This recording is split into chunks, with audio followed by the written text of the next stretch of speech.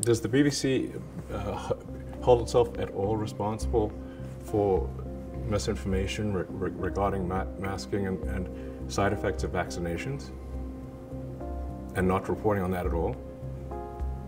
And what about the fact that the BBC was put under pressure by the British government to change its editorial policy? Are you aware of that? This is, a, this is not an interview about the BBC. Oh, so. you thought it wasn't? if the past decade of democratic politics has one defining issue, it's probably that amorphous entity known as the media. Whatever you think of Elon and his clashes with, well, everyone, there's something really telling about this clip and its popularity. It's not just about Elon's and Twitter's erratic waffling between labeling the BBC, NPR, and others as propaganda, then public media, then nothing at all. Much more importantly, it encapsulates news media's profound crisis of identity and purpose in a democratic world increasingly fractured by polarization and distrust. To better understand what's going on here under the surface, we took a look at seven different media outlets from around the world and broke them down into four simple categories to explain how public media works, who to trust, and what the future might hold. This is a map of press freedom around the world, according to Reporters Without Borders. Just glance at it, and it's hard not to notice these two dark clusters especially this giant one, including China and Russia. To understand what's going on here is pretty simple. Just follow the money. Let's start with Russia's media darling, RT, or Russia Today. If you're watching this, you're probably not Russian, yet you've probably consumed RT's content before. That's because it's grown to be the world's biggest media company based outside an English language country, at least, that is, according to RT's website. Why not believe that? Or anything else on their website, for that matter? Well, following the money is pretty simple. RT gets its funding from the Russian government, which is, despite having the window dressing of democratic institutions, really just a straightforward autocracy. As a result of its ties to the government, RT operates with minimal real independence. According to former RT employees, criticism of Putin is strictly forbidden, while coverage of the Ukraine war is unswervingly pro invasion. Simple, right? Just follow the money, and it's clear where RT's rye bread is buttered the Russian government, i.e., Putin. In China, it's even simpler. Let's look at the example of Xinhua News. Like RT, Xinhua receives its funding from the government, and like Russia, China's government is an obvious autocracy. Except Xinhua doesn't just get its money from the government.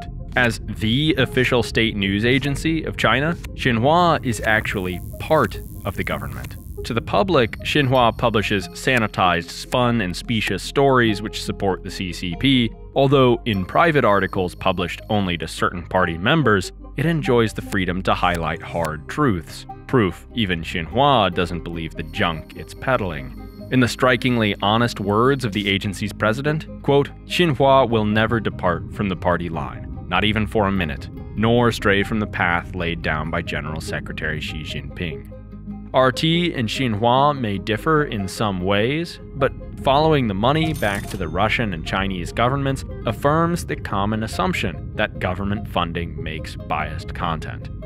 Thus, Elon's desire to equate RT and Xinhua with other government funded media like the BBC. After all, that's just following the money. But democracies are different from those zero accountability, zero transparency regimes. At least in theory, democratic public media is kept independent from the political powers that be through tough to change funding mechanisms and editorial boards with legal and institutional independence from government influence.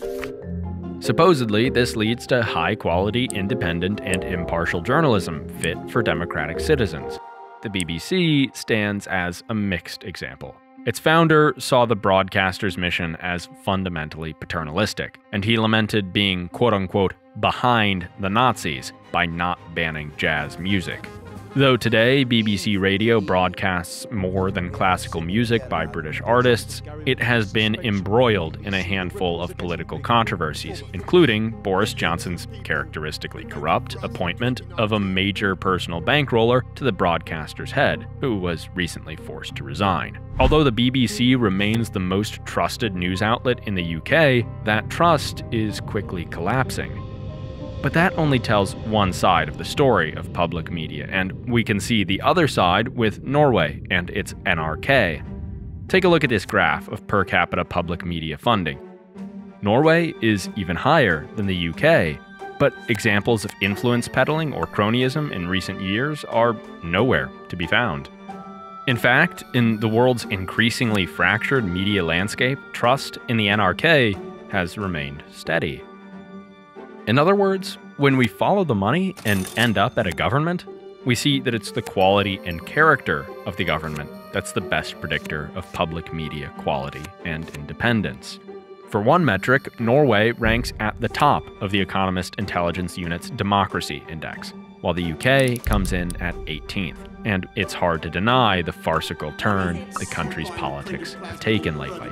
As such, it's unsurprising Norway has top tier public media, while the UK's recent record is more mixed.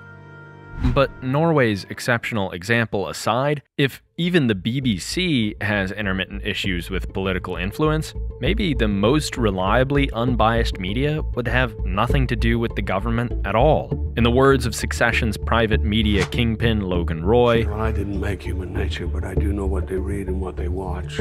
I make my nut off what people really want. Don't tell me about people. I go flat broke in a week if I didn't. So the argument goes. Follow the money, and outlets like Fox and CNN are good because they're independent of the government, living and dying according to market forces. If they didn't give people what they wanted, they'd fold. Unlike publicly funded media, which can be propped up by government backers long after people have lost interest in what it has to say.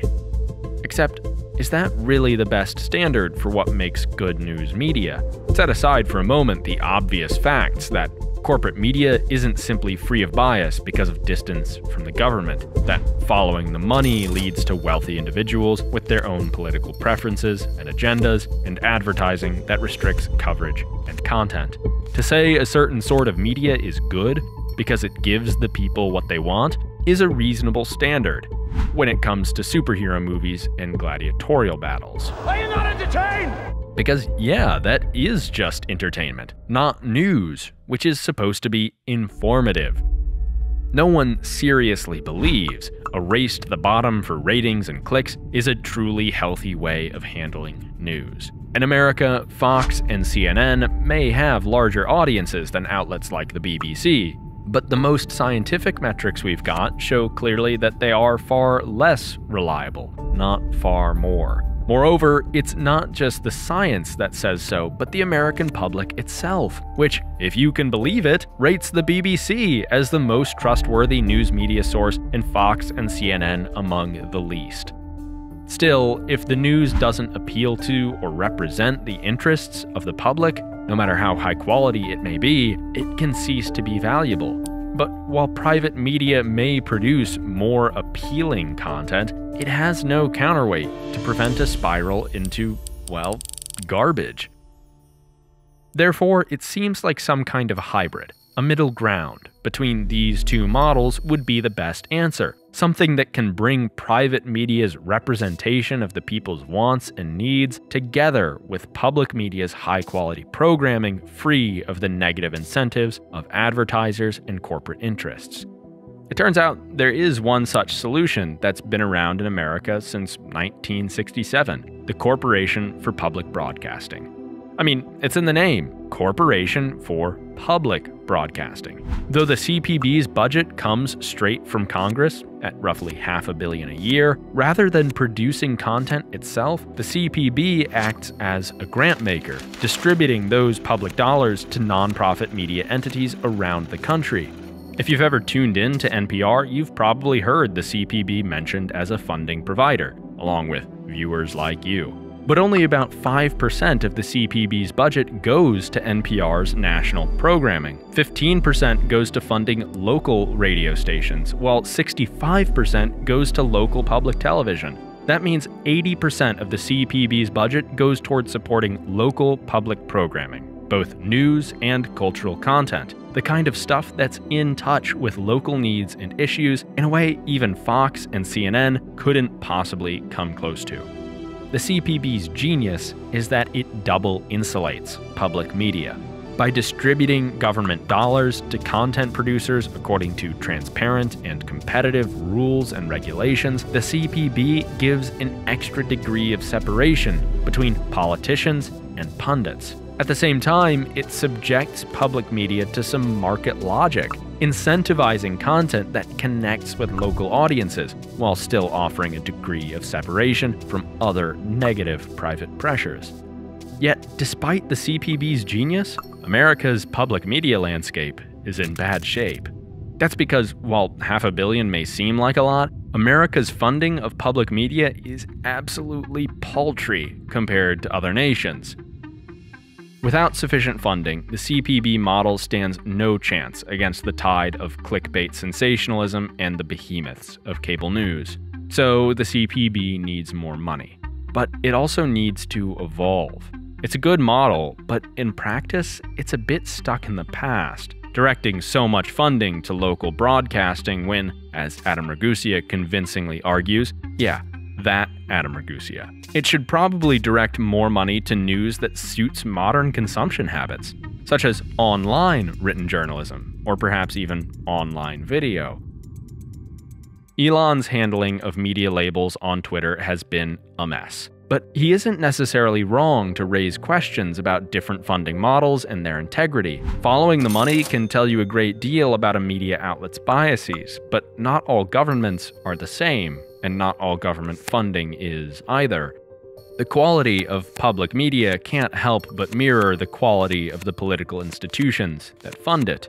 But what if we want to do better? We live with clickbait in our pockets, partisan hackery on our televisions, and goofy incompetence in our highest offices. If publicly funded media is going to have any hope of providing a real counterweight to the worst possible trends in our discourse and our democracies, it needs to be innovative. The model of the CPB, however flawed, is a good place to start. One that can balance those perennially tricky tensions of democratic life between easy entertainment and tough truths, between private dynamism and public reliability, between spectacles and sanity.